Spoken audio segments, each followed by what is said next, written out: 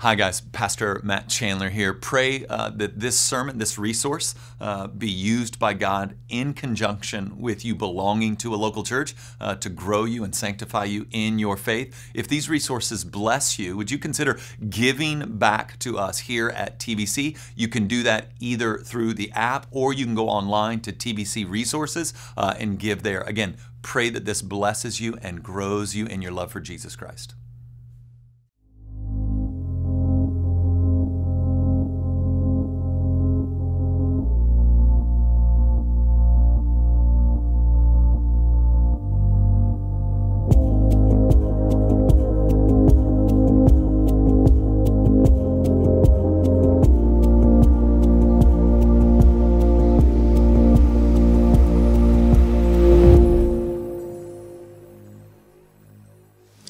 Good morning. My name is Terry Craigle, and my husband Mark and I sing in the choir, and we also serve in our Live Well ministry. And I'm going to be sharing the reading from Galatians 4 4 through 7 this morning.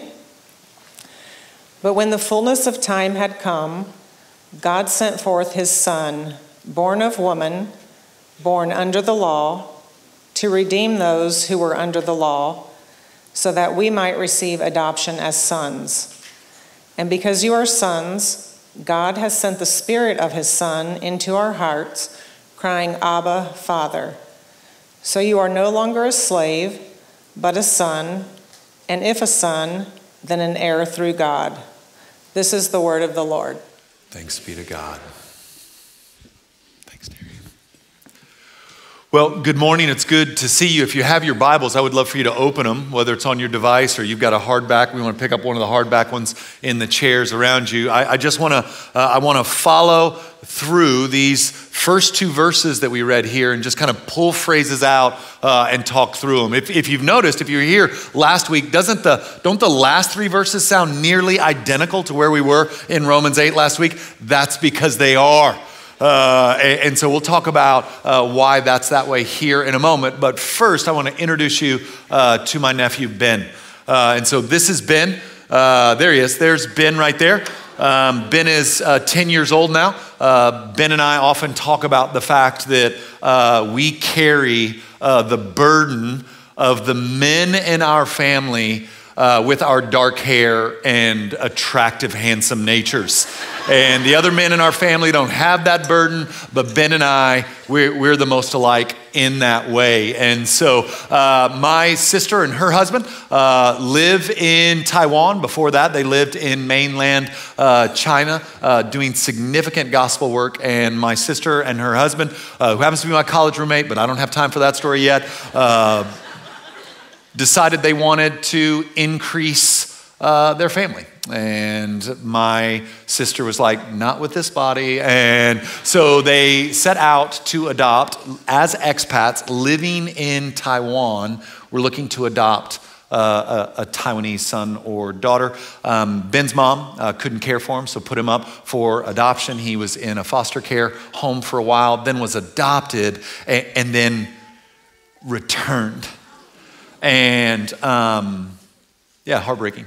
And, and, then back in a foster house that wasn't going well. And, and when my sister and her husband adopted little Ben, and um, the process to adopt is always complicated. When you're an expat in Taiwan, you're trying to walk through a process that's not in your primary language, uh, everything's harder. Uh, and so it took about two or three years uh, to navigate, had uh, in home studies where there was a lot of questions because this isn't the, the way we do things. Help us understand why you do things this well uh, or this way. And then uh, when all was said and done, Ben became uh, a coddle. Um, which is my sister's married name, and, um, and really became really just a bright, shining light of joy and gladness. So, just uh, easily one of my favorite family members. If you can have favorite family members, I know you can't have a favorite kid. I mean, you do, but you can't. And, um, and, and then there, there's Ben, who always brings a lot of energy, always brings a lot of life, and, and always makes things uh, more fun than they already are. Um, and so last week we talked about adoption when we're, if we're looking through these angles of the gospel, right? We're looking at the gospel from all these different angles. Where we talked about adoption, it's one of my favorite ways to think about the gospel, consider the gospel, meditate on the gospel. To be a son and a daughter, the creator God of the universe, not a slave, not a, but a son with, with all the rights and privileges of being a child of God. Well, redemption, which is our angle for this week, redemption is the process by which adoption takes place. All right, so where Heather and Rich had to fill out paperwork, they had to do a home study, they had to spend uh, thousands and thousands of dollars. They had to help him kind of integrate into their life. They had to, for a while, cook their normal Western meal, but they were getting him noodles and chicken and things. To this day, sorry, Ben, to this day, Ben dislikes Chick fil A. What? what? He loves the Lord, guys. He's in but God, just barely like smelling like smoke and glory, right? Uh, and so, man, there was just a lot of things that had to be navigated to make him a, a coddle and, and be a part of the coddle family. Well, for you and I to be children of God, redemption has to take place.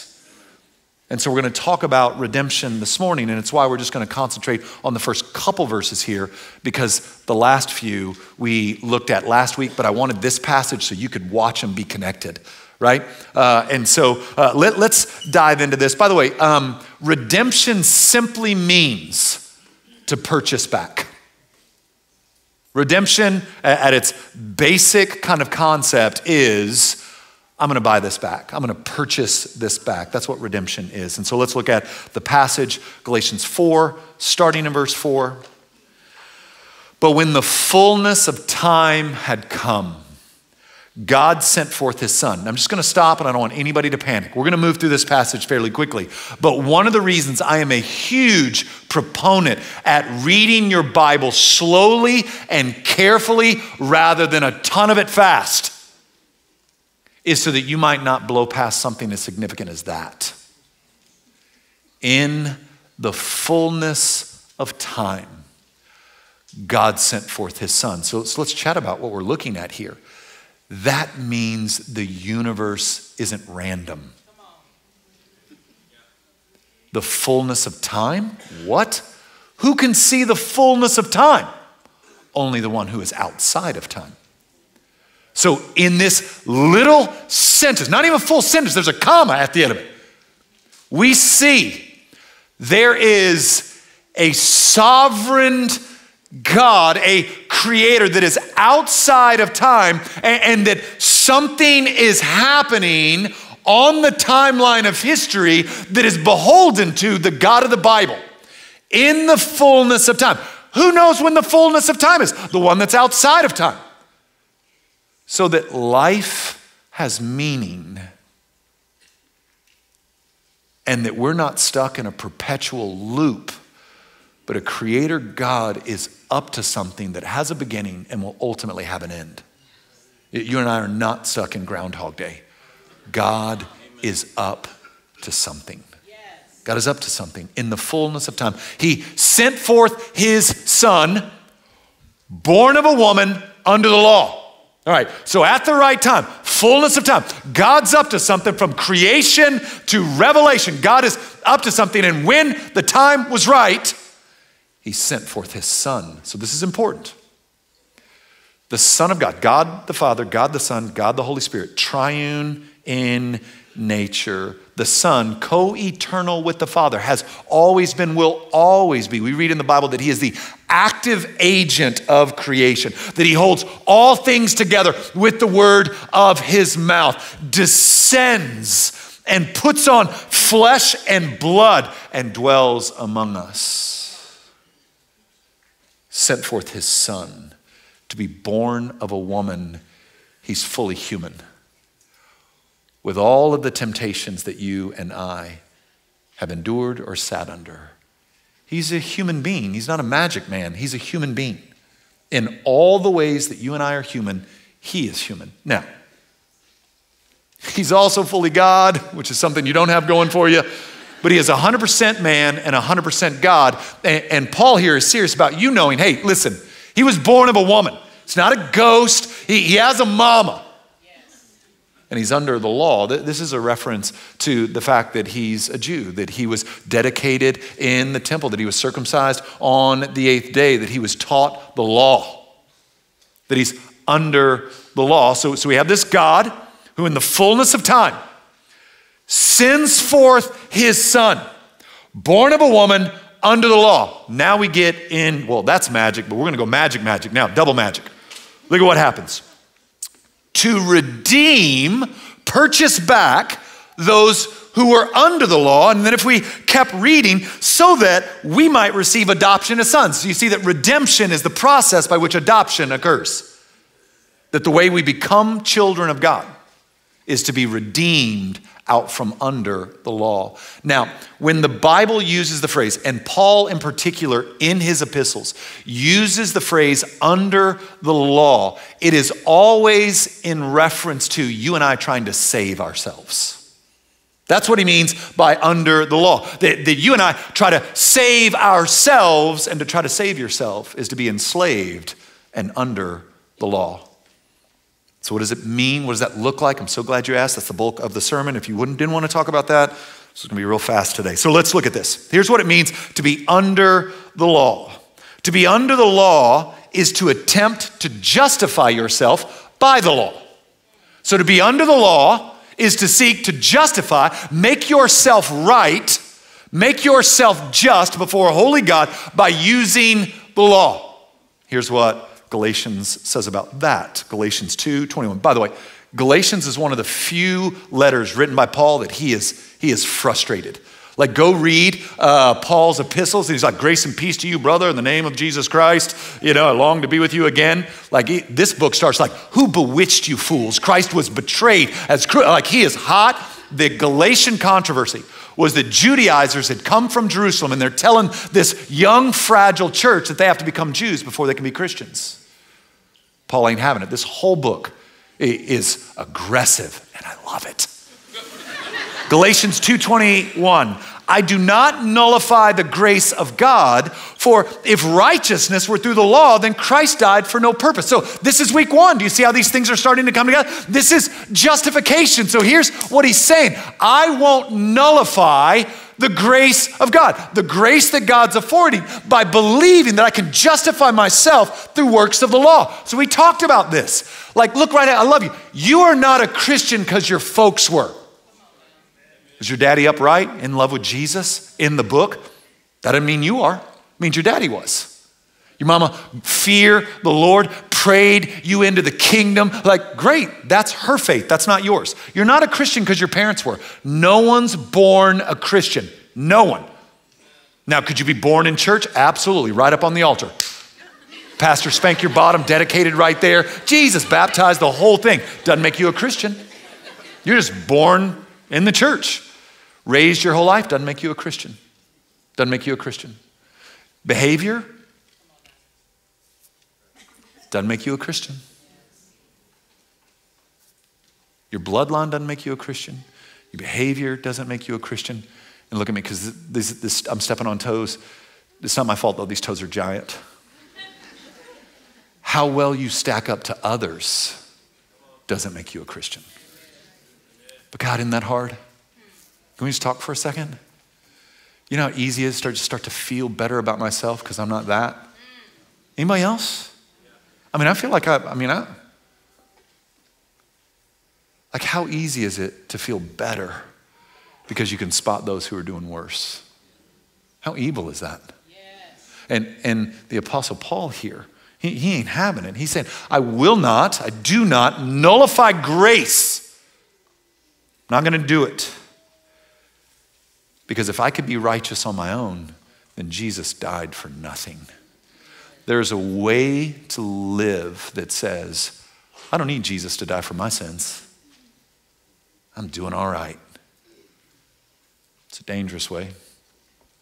To be under the law is to attempt to obtain the Spirit through obedience to the law. Ecclesiastes 3:11 says that God has placed eternity into our hearts. You know what that means? If you grew up in church, that, that's the old, you know, there's a God shaped hole in the middle of your heart that only God can fill. It's not cliche, it's Ecclesiastes 3:11. That only eternity will fill the longing of your heart. It's why everything runs out of steam for you. It's why everything that satisfies or is pleasurable in the moment will eventually fade in, its ability to do that. Why? Because you were created to be indwelt by the Spirit of God. You were created for the presence of Jesus. And the way that works now is not by getting on a plane and heading to some temple or tabernacle somewhere, it's the Holy Spirit in us. Uh, listen, Jesus and his presence are as thick and as real in here as they are in Jerusalem. I've been.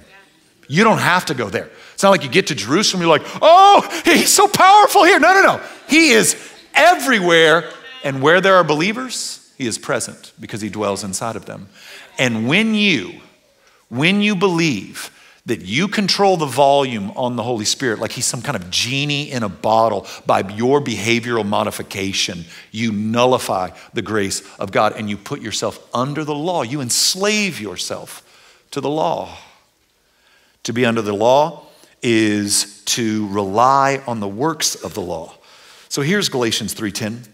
For all who rely on the works of the law are under a curse. For it is written, Cursed be everyone who does not abide by all the things written in the book of the law and do them. So we talked about this one, right? This is week one again. Like one of the primary purposes of the law is to show you you can't and that you need a savior.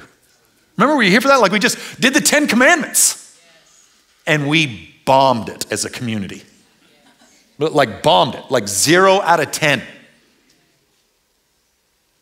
And so he's saying here, you want the law, you want to justify yourself by the law, you have to know all of it and obey all of it. That, that's being enslaved. That, that's not grace, that, that's crushing. That's not freedom. Uh, that's love based on merit, not love freely given. It's a terrible way to live and to understand the Christian faith. You will be constantly working on self improvement projects and constantly falling short. Like, gosh, you, you already know this. Anybody ever, like, like you had this moment with the Lord and you swore never again, only to make it about 48, 72 hours? Anybody got that testimony? So, so everyone does, or you're a liar. All right, so you can be a liar or fess up, but that's true about all of us. I'm gonna do this now. I'm not gonna do, uh, except According to Romans 8, weak as you are in the flesh, you can't. It's part of the purpose of the law to show you, oh gosh, I actually need a savior. I'm not as, not as good at this as I thought I was, right? And then lastly, to be under the law is to seek eternal life by obedience to the law. So this is uh, Galatians 3:21. Is the law then contrary to the promises of God? Certainly not. For if a law had been given that could give life, then righteousness would indeed be by the law. And so, again, here he is making the argument that we're in deep need of redemption to be purchased back from being enslaved to this because there's not a moral code that's going to bring in life. There's intimacy with our Creator, there's relationship with Jesus, but there's not a moral code that you could nail that's finally going to give you the gladness that your heart desires. So, in each one of these, Paul, super frustrated with the church at Galatia and the Judaizers that are falsely teaching there, is saying, You've bewitched yourselves, you've enslaved yourselves. And now, here in this part of the book, he's letting them know listen, to be children of God, you must be purchased back from this slavery um, and, and then he's going to make the argument that we're not under the law, we're under grace. That doesn't mean that we don't strive towards obedience to the law. That, that's terrible teaching. It's that when I fail, I can get up and keep moving towards God, that I'm not condemned in my failures and struggles. And then again, these are all starting to come together. Like, didn't we say, even week one, like I was justified in a moment and a train wreck for the next three years, but I loved him. That and I loved Jesus, but I had all sorts of lust and violent issues. Anybody else uh, give themselves over to Jesus just a bit of a train wreck for the first few years? Okay, now hold on, get your hand up. Look at this. Right? Now, do you think he loves you less or more now? Right? See how this is crazy? Where we start like that, I don't hardly know anything, but I love Jesus. And over a period of time, we fumble and bumble and stumble and bust up our knees and create a giant mess. And yet, we're in His love, experiencing that love, walking out that love. It's why when the Word of God confronts us, we're so happy to conform to it, maybe even with a struggle because we don't understand. But then we conform ourselves to the pattern that He's revealed, and all of a sudden, man, it's a like some of you right now, man, you're just like right in the, this moment, like you love Jesus, but your, your life's a bit of a wreck. And, and I don't want you to lose heart. He, he knew what he was buying. Maybe, maybe this way, like Jesus got the Carfax. You tracking with me? Like he got it. Like he knew what he was buying. If you don't know what a Carfax is, let me use this as an illustration. Um, my mother-in-law is a realtor, and when you when you purchase a home, you should ask for what's called a CLUE report. A, a CLUE report lets you know everything that's happened in that house. So if there's been flood damage, you know, water heater bust and flood the floor, you, will get it'll be on the CLUE report. Somebody somebody died in that back bedroom, that's going to be on the CLUE report. I don't know about you, I want to know that. I'm not superstitious, but I'm a little stitious. It was just there. You had to take. You had to swing at it. Had to swing at it. Sorry, mom. And, and, and, this CLUE report just lets you know that this is that this is everything that's happened in this house. You need to know that Jesus has the CLUE report. He sees everything and he's still buying. He's still buying. That's what redemption is. I know, oh gosh, yeah, I gave him that blessing and dang it, they blew that up and I want it back. Oh yeah, I let them take that car for, they destroyed it and I want it back. I mean, they decimated the house I gave them and I'm buying it back. Well, man, did you see what they did? I mean, you, did you see what they did to the kitchen? Yes. And I'm still paying full price. I want it back. This is redemption. And when redemption moves us in to adoption, Jesus is buying it all.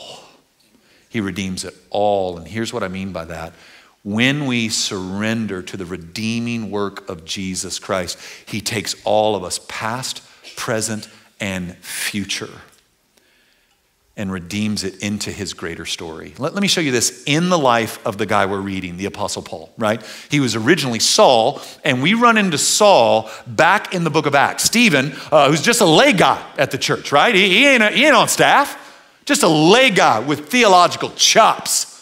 A dude knew his book. Like he just like Genesis all the way up to the death and resurrection of Jesus. Just walks through the Old Testament going, Jesus, Jesus, Jesus, Jesus, Jesus, Jesus, Jesus, Jesus, Jesus. Y'all killed him. And then they turned and stoned Stephen to death.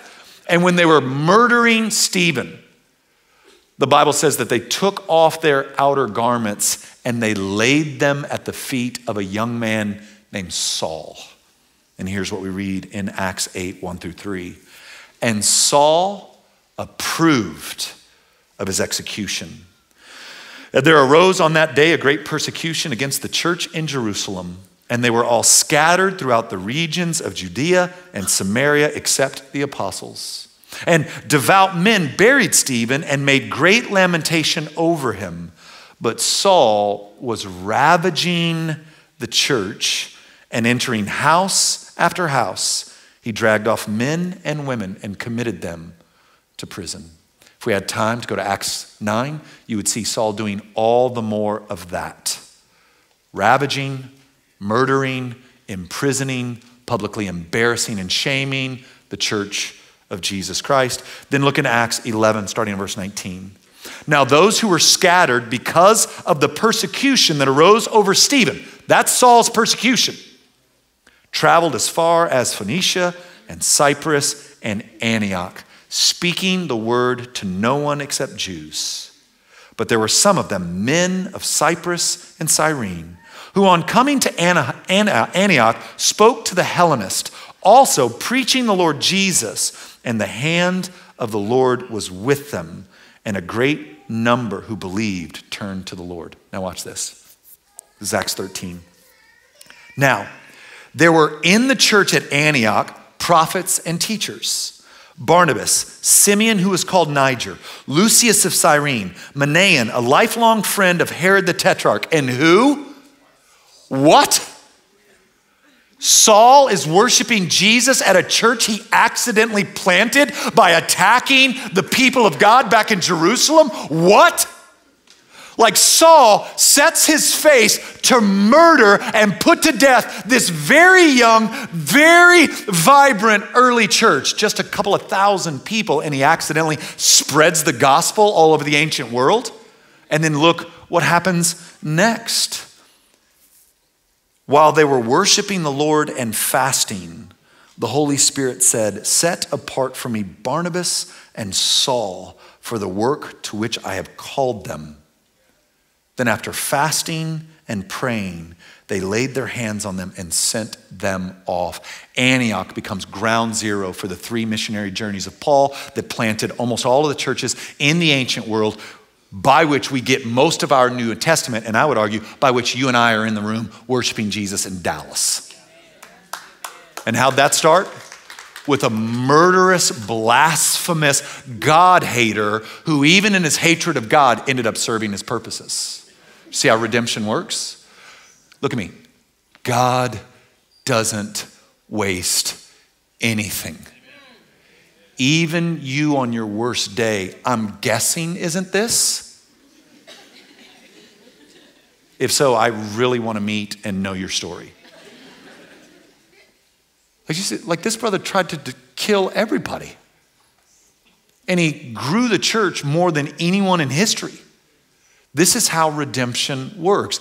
Saul's story gets incorporated into the story of God. And now, with great joy, he, can become a trophy of God's grace and surrender to God's calling on his life that's actually born of his own rebellion against that calling. Let me show you that. This is 1 Timothy 1 12 through 17. I thank him who has given me strength Christ Jesus our Lord, because he judged me faithful, appointing me to his service. Though formerly I was a blasphemer and a persecutor and an insolent opponent, but I received mercy because I acted ignorantly and in unbelief. We're going to come back to that. And the grace of our Lord overflowed for me with the faith and love that are in Christ Jesus. The saying is trustworthy and deserving of full acceptance. That Christ Jesus came into the world to save sinners, of whom I am the foremost. And then he repeats, but he adds to it. But I received mercy. So remember, we already said I received mercy, and he explained why God gave him mercy. This is the second reason God gave him mercy.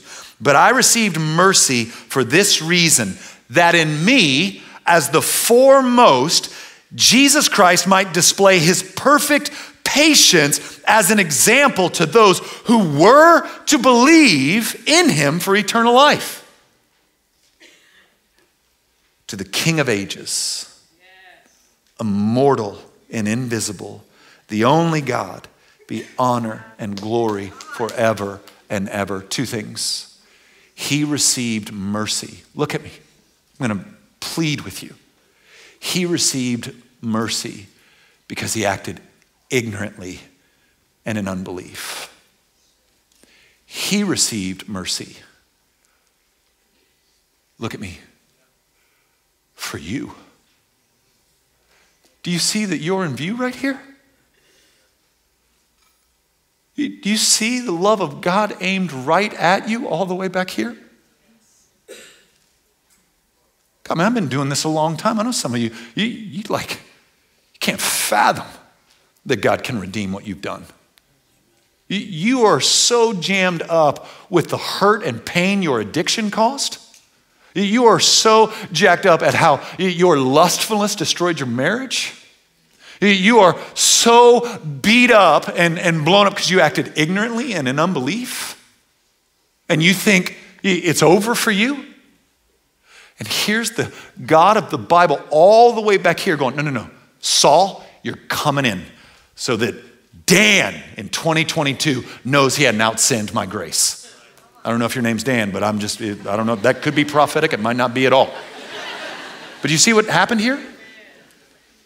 You, you for those who would believe, Saul becomes Paul. So you would know that you can't out sin the grace of God. Now, let me, let me end with this and make an appeal. Um, a couple of weeks ago, I think it was. Was it a couple of weeks ago? Yeah, I'm, so here's how Lauren and I work. Like, I'm the message and she's NASB. So if I'm like, you know, our daughter's five eight, you know, or five nine, Lauren's like, she's five eight and three quarters. Right, so the New American Standard is a word by word translation. ESV is kind of phrase by phrase, so that's kind of how we work. So that's why I was dialing it. The message is, yeah, sorry, baby. See, it just happened. Oh my gosh, it happened live for everybody on the internet to see. That's it exact. That happens all the time. So several weeks ago, ish, uh, I received an email from a woman in our church. She's been here a while, and she was up early praying, and she she um, she, she felt like she got a vision from the Lord, and, and she was so compelled by it that she emailed it to me, which I, I think takes a lot of courage. And so when that happens, when I get something, I take that stuff seriously. That's not some small thing to me. When, when that happens, I want to take it and, and I want to hand it to some people who I, who I know will prayerfully consider with me, and then I want to take it to the book. I want to take it to the Bible. And I'm begin to look through the Bible at different images and different, I'm trying to, trying to glean from the Word of God what might be present here. Now, Lauren, uh, Lauren is a, um, she is a researcher by nature. There are often days at a time that I lose my wife. If she kind of finds something that interests her, she needs to know how it works all the way back to the beginning. Like she recently bought a book on colors and where colors came from. Uh, and so for weeks, it was like, you know where that blue came from? So back in the, and, and, so she, she did a deep dive on this little vision. And one of the things that Lauren found, uh, there was an image of a gazelle in there. I, I think, I'm not sharing the whole vision, but I'm going to show you a little something of came, what came out of it. There was this image of a gazelle in it. And one of the things Lauren discovered is that when gazelles are in seasons of drought and, and they can't get water or food, they literally shrink their hearts and their livers to stay alive. That crazy? That they have, the gazelles have the ability, because of where they live, that in dry seasons, in seasons where they're not sure they're gonna survive it, that they have the capacity to shrink their hearts and livers. We don't have gazelles here in Texas, we have deer, and deer pant and seek water. I am not ignorant to the pain that we can experience in a fallen world and the compulsion to shrink our hearts to survive. Listen, I'm not mad at you. God, some of you are still here today because you shrank your heart. Some of you, you, you, that's the way you survived it, the way you got through it, the way you made it to the other side. For all the options you had, you, you shrank your heart and you, you maybe made some promises that you wouldn't trust like that or, or that you wouldn't put yourself in that situation again, and you shrank your heart. And redemption this morning is being honest about the mystery of God's sovereign reign and the brokenness of a sinful world. And the invitation, look at me, the invitation is for you to throw yourself on the mercy of Jesus and watch water pour on your shrank up, shriveled heart. So that your whole story might be redeemed. Now, I don't know if you've noticed this. Do you know who works with addicts? Former addicts. Do you know who loves on moms and dads who lose a child? Moms and dads who've lost a child. Do you know who works really hard to help marriages restored under the banner of the gospel of Jesus Christ? Those whose marriage exploded and the gospel put it back together. You have not outsinned his cross your story is not so bleak, not so dark that redemption can't be yours. And yet, you must choose, like David writes in Psalm 42, to pant for water rather than allow yourself to stay shrunk and angry and unable to trust and not going to let go and not going to give in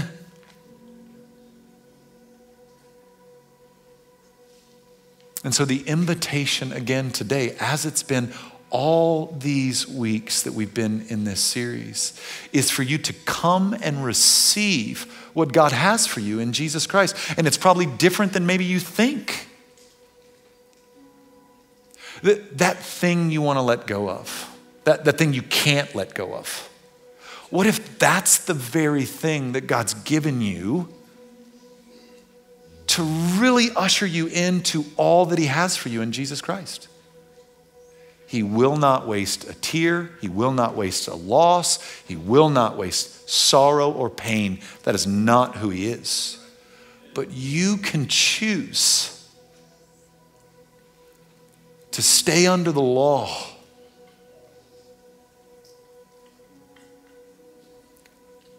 But in the fullness of time, God sent his son, born of a woman under the law, so that he might redeem those, purchase back those who were under the law, that they might receive adoption as sons and daughters.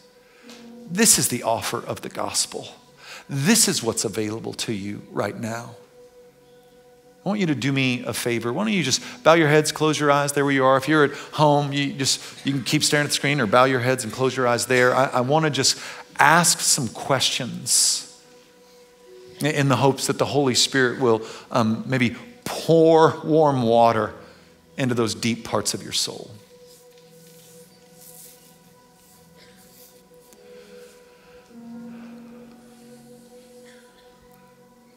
If you're in here today or you're watching online or you're watching this six months from now, and you would say, Oh man, I don't know that I had language for that before, but I, I have, like the gazelle, I have shrank my heart. I am dry and locked up. I have, in this drought, in this hurt, in my confusion, in my doubt, I have not panted for living water. I have not run to the Lord, but instead I have shrunk my heart to survive. And if, and if you're saying, and the Bible's saying, that the Holy Spirit can pour water on that today, I, I want to say yes to that. If that's you in here and you're just like, man, I, I have shrank my heart, you just lift your hand there where you are? You don't need to be embarrassed. We're not, yeah, get that thing high like we're not Baptists. Yeah, praise God. Listen, you're not alone. There's so many of you right now. Why don't you put your hands down, you, you are just so many of it. It doesn't have to be that way. You don't have to carry that. I'm going to pray for us. And then we're going to sing. We're going to sing about the Son coming in the fullness of time. We're going to sing like blood and tears. What? The Son of God, co eternal with the Father, put on a physical body and dwelled among us for what? To redeem us out from under the law so that we might be sons and daughters. I'm going to pray. We've got men and women in the back. They're members of our prayer team. They're wearing gold lanyards, or maybe there'll be some staff back there with, a staff tag on. They are simply going to ask for you that the Holy Spirit would pour water on your soul, spiritual water into the deep parts of your being and, and that as you confess, I have shrank my heart and I don't want to do that anymore. They, they want to pray with you. And if for the first time today you're understanding the gospel rightly and you want to say, I'm saying yes to Jesus, I'm going all in on this one who at the appointed time came to redeem me so that I might be a child of God. Amen. We, we would love to pray over you in that, baptize you this morning, and celebrate new life in this place. Cast your cares upon Him because He cares for you. Father, I bless these men and women in the name of Jesus. How good are you? Pray that you would make us, as David wrote in Psalm 42, like, like the deer that pants for water, that, that you would orient our hearts to be hungry again, to be thirsty for your presence. Forgive us where we've shrank our heart, where we've refused to trust, where we uh, haven't been able to uh, remember or think about the fact that you're outside of time. You're up to something, even in this current mess that we're in. Even the struggle that we find ourselves in, we haven't been abandoned. You're up to something. Help us not shrink our hearts and our livers to survive it. Let us press into you, receive from you, believe, and put faith that we're in your hands. I pray against even now the little whispers that are in the minds of people that know they need to be prayed for, that know they need to surrender to you, and yet all these thoughts of no, just sit, no, just say a little prayer by yourself. I just pray that you'd quiet those whispers and that they might, Father, receive what you have for them today. Holy Spirit, help us. We need you. It's for your beautiful name I pray. Amen.